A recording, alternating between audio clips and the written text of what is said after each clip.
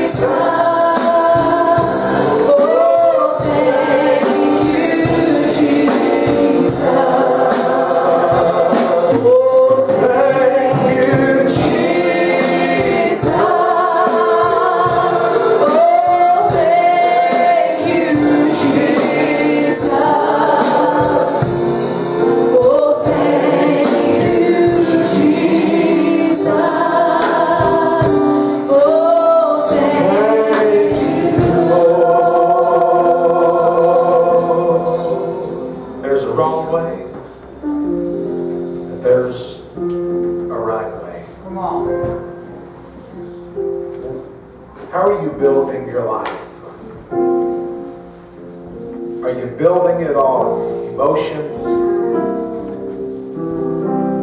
Are you building it on talent? You building it on gifts? They all last. You got to build your life upon the rock. Who is that rock? It's Jesus Christ. When you build your life upon Him, the like Aaron was saying, the storms of life can come. But in the end, you'll still be standing.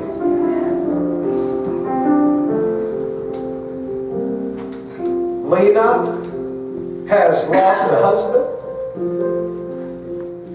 Her grandson stepped into glory a few weeks ago. She knows what it is to go through the storms of life.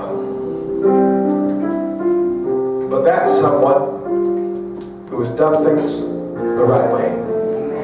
By building her life upon Jesus Christ.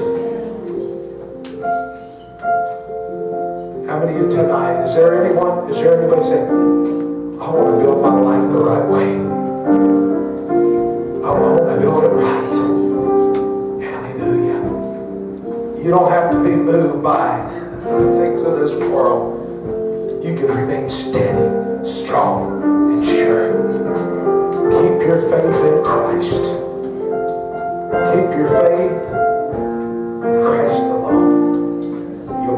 to stand the test of time.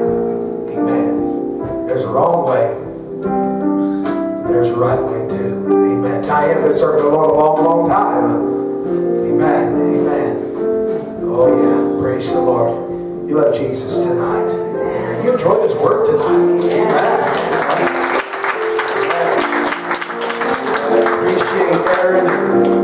Rachel and, uh,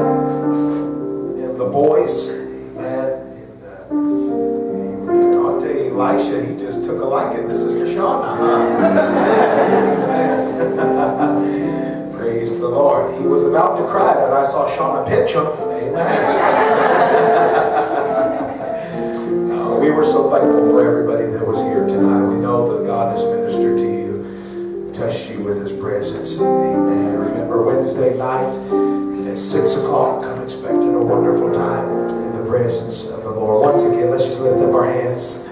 Jesus, we love you. We praise your name. Lord, we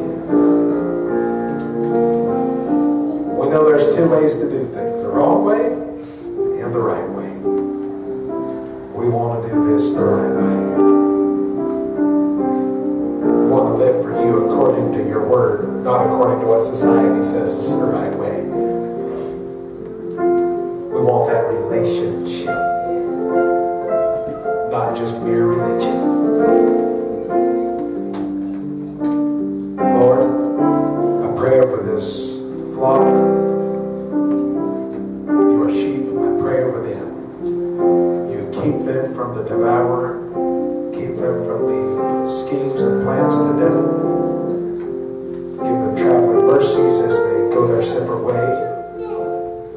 pray for uh, Aaron and Rachel the boys. You would be with them as they're going to be going back east to Arkansas, Louisiana area. Just be with them. Give them a mighty outpouring of your Spirit. May these churches that they go to be so hungry for revival. In Jesus' name. And uh, Lord, we just love you supply all their financial needs. We pray that their vehicle would run properly. And uh, Lord, just continue to move in their life in a mighty way. We lift Aunt Jean up to you, Jesus. We ask you that you would just touch her tonight and give her strength. And uh, Lord, we pray that she does so well that they're able to discharge her tomorrow. But we thank you that today she's been even without the oxygen. That's, that's wonderful, Lord. That's because of you. Lord, we just ask you that she would just keep getting stronger and stronger, Lord, that she can be where her heart is in the sanctuary of God. with their brothers and sisters in Christ. Be with Aunt Jean. Continue to be with Sister Debbie. And uh, just everyone in this church. We give you all the praise and all the glory. In Jesus' name. Amen. God bless y'all. Love you.